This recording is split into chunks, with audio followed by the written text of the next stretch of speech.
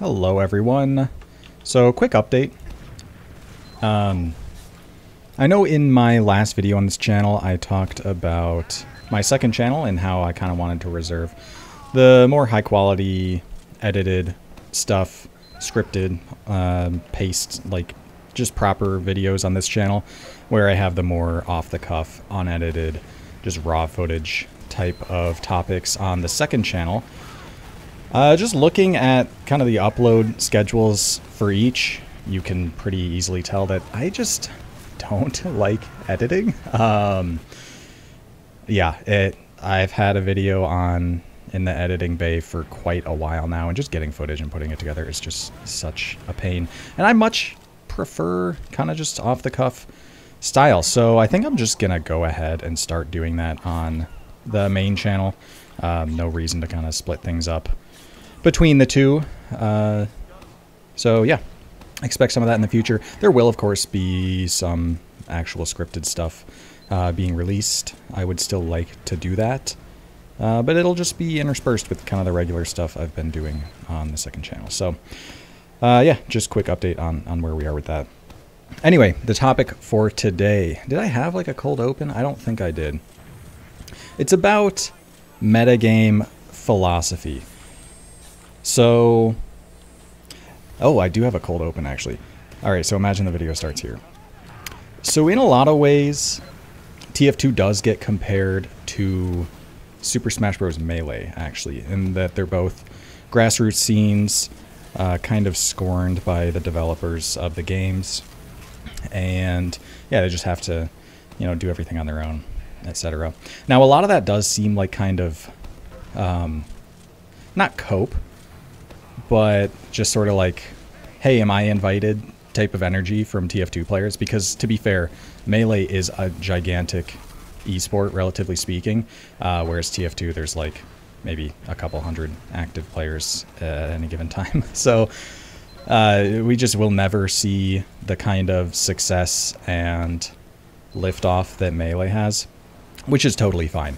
However, one the one place that I think it's really actually accurate to be comparing the two is in looking at the metagame and how it forms. Because, of course, the games, neither game is being actively developed or even really touched at all from a balancing perspective. So, as far as metagame goes, like rule set, all of that, it is community decisions.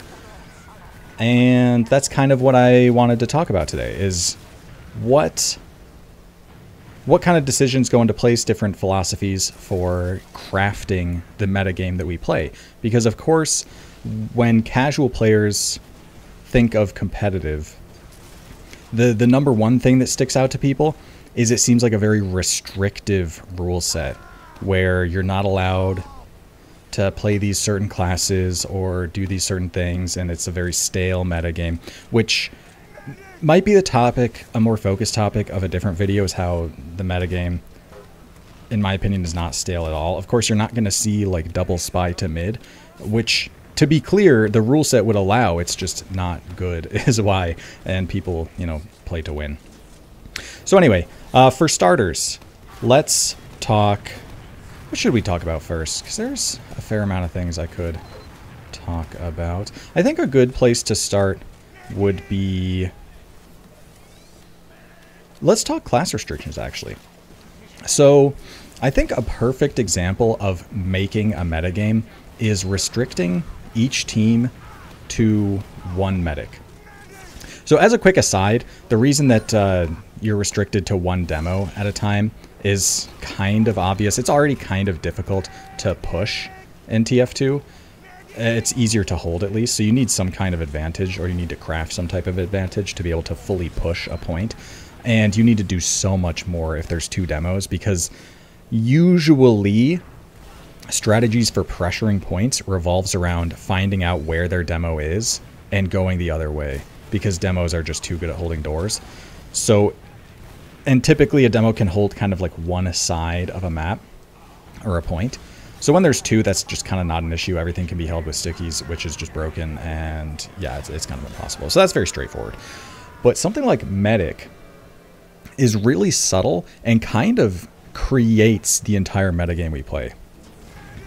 And that revolves around Ubers and Uber add and disad.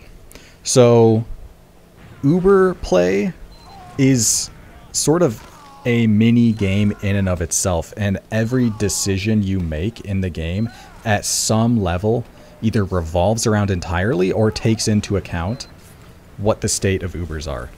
So because both medics build at the same rate, build their Uber charge at, Uber charges at roughly the same rate, you know essentially how close another team is to Uber. And of course, Uber being an extremely centralizing mechanic, being able to be completely invincible, is going to win you fights if you can do that and the other team can't. So a lot of positioning revolves around you know playing particularly passively if uh, you know the other team has an Uber and you don't, because of course you don't want to die to that. And of course the snowballing effect of if your team dies on disad because the other team used their Uber to kill your medic, then it's still disad and that kind of game state continues even further except you're losing ground, etc. So with that in mind, knowing that uh, both medics are going to charge at roughly the same time, you can count and approximate how much Uber the other team has and play around that fact and do different things um, in order to change the state of Ubers. Uh, for instance, you know, if it's disad, you may want to sack a soldier if another team's trying to push to take advantage of the fact that they're getting through a choke point to try and turn the disad into add by getting a force, right? Stuff like that. Now, I think that's very. I mean, it's just such a centralizing mechanic, and it's very fun to play around because you get to kind of use your information and use your game knowledge and game sense to outplay another team, and that's uh, very rewarding. It's very fun to do something like that. Now we imagine, let's take multiple medics into account, so there's no restriction whatsoever. Suddenly, kind of the entire metagame falls apart because you know, so in a previous example where, like, we can take what's happening on screen right now as an example. Our team has an Uber. We're pushing with our Uber. The other team doesn't have an Uber. We of course, they have plenty of counterplay in you know the defensive off classes, how they play their last, because lasts are difficult to push into. But we outplay them with our Uber and end up winning a round for it. That was strictly a case of one team having Uber and another team not, and then we get to take a push, they get to do a defense. Everyone understands the situation, and it's just a matter of who comes out on top. You know, just metagame. Now, if there's multiple medics, suddenly the idea of add or disad completely dissolves because you can force a medic and the other team still has an Uber as an asset and suddenly it just does not matter at all. And it becomes way more difficult to kind of discern what is even going on. Um, and just the entire metagame falls apart as a result. So I think medic being restricted to one is a pretty illustrative example of how actually restricting the format paradoxically creates more gameplay, more metagame, more stuff to work around because it actually gives something to bite into, right? Um, if there's absolutely no restrictions at all, a lot of the time a game like TF2 kind of just dissolves and just becomes very chaotic and you just can't really tell what's going on anymore. And it's very nice to have something that you can actually dig into. Um, some some rule sets that create interesting dynamics that allow players to, you know, play to the best of their abilities, counterplay, um, things like that. So I think that's a good example. Now, when it comes to weapon restrictions, things get a little different because whether a weapon gets restricted or not is in some sense a matter of opinion. Now, there are some weapons that just everyone is in agreement on, like for instance the Wrangler. Like even casual players hate the Wrangler. Uh, the Wrangler just makes pushing into last way too difficult, just by virtue of the fact that it, you know, makes a sentry way more tankable and way harder to take down. Um, so it, yeah, everyone's like, yeah, no, we don't want to play with that weapon. It's just unfun to play with and very unhealthy for the metagame. However, for other unlocks, for instance, the Quickiebomb Launcher, Or let's imagine, what's another one that's, uh, you know, people want to unban the Mangler a lot, which is interesting. Anyway, uh, with examples like that, it's more nebulous, and there's generally two camps as far as weapon bans go. There are the players that think that unless a weapon is broken, then you shouldn't be banning it. So it needs to be very disruptive for it to be worth banning. And in this was a much more common camp to have many, many years ago when there was at least some feedback from Valve and players had the the opinion that if we could somehow test these weapons, get them tweaked a bit, uh, so that they're actually allowed for competitive play, then, you know, we might actually see some support from Valve in our in our game, right? Which, at this point in time, is very obviously not the case. So, um, there's absolutely no hope of that being uh, a reality. It's more so like people are still, you know, attached to the idea that if it's not really broken, then you know it's fine. You can just learn to play around it. Now that's one camp. The other camp is more more hardline purists in the sense that they think a a weapon has to add value for it to be worth including. So there are some examples, like one being the Loch-n-Load, right? Where and that's actually going to be the topic of uh, another video, which this is intended to be the primer for, actually. But kind of just of the opinion that, yeah, like you can have these weapons, but if they aren't really adding anything positive to the metagame, then what's the point of even including them? If they're kind of just dumb, but like not so good that it's, you know, super disruptive, like why should we just play with stuff that's just kind of dumb for no other reason than to say that we allow more weapons, which I can, you know, in some respects understand. But it does, you know, trend more towards just banning stuff just because they kind of don't like it. And also sometimes they just don't learn the counterplay that well to certain unlocks or whatever and just kind of want it banned because they think it's stupid. Um, but yeah, uh, one thing I did want to mention as well with regards to like the Valve support tweaking weapons a lot of weapons did actually get kind of adjusted in this way and ended up just being really bad. And there's no possible way that every unlock could be made competitively allowed, I'll say, in the sense that they just aren't completely broken.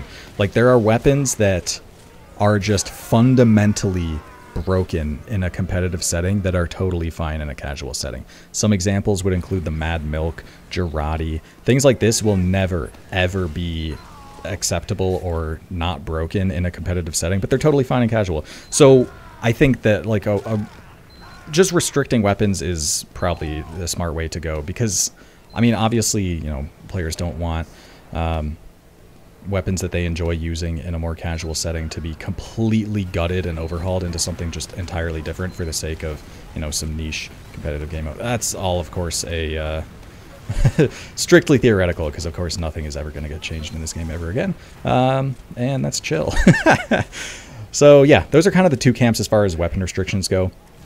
Now, when you get further into things, a lot more opinion comes out. Because of course, no one's arguing that you know Jarate is you know, kind of broken. No one's arguing that Mad Milk is broken. No one's arguing that the Wrangler is broken.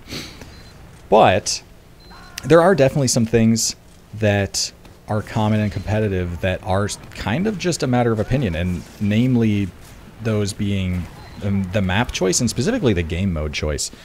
Uh, Sixes is played entirely on 5CP and Koth. And while I think those game modes really, really shine in sixes, and even the even the major downsides people claim about the formats, I think are not really that bad, and especially like if you're willing to take more risks and be more aggressive, then they seem much less bad. Um, but why not something like payload, payload race, attack defend, things like that? And honestly, that is mostly just player preference. Um, Now, of course, the the current map pool of payload and you know etc. None of those are built for 6v6. They are just way too big for that. But you could theoretically make like a smaller payload map catered to a 6v6. I just don't think people would really play it or enjoy it because a lot of the 6's metagame is developed around mostly 5CP as well as Koth. So those are just what the game modes people like playing, what they're used to playing, and it's probably going to continue to be like that because you know new players are, are learning this format, they get used to it, and yeah, that's just kind of largely a thing of opinion or just preference, but it's just kind of the, the way it is right now. Anything else I wanted to talk about? Um, this ended up being a little less clear and focused than I intended, but still, just trying to drive the point that uh, this is a crafted metagame. I think that making decisions to make the metagame better is not a bad thing. I think that leaving the game more of a standard version or like a stock version. Uh, basically trying to align competitive to be as easy to get into for a new player by uh, as possible is not really a good way to go. I think you should be crafting your rule set to be as competitive and fun as possible. I think that's a good way to go. And whether people play or not is going to be strictly up to whether they want to or not. But you're going to get more people playing if your game is actually fun. Um, so, yeah. What was it? And there's other things as well. Like, I mean, no one's going to argue that, you know, random crits or random weapon spread should be enabled in in a competitive format, stuff like that. So, I, crafting a rule set to be as fun and fair as possible is a good goal to have. I understand that there are going to be people who are just spy mains and they just want to play spy and they get told that spy's bad in sixes. And you could just play a full-time spy in sixes if you wanted. It's not like against the rules. It's just people will generally want to play against that and you're going to generally be less effective than a scout would be, for instance.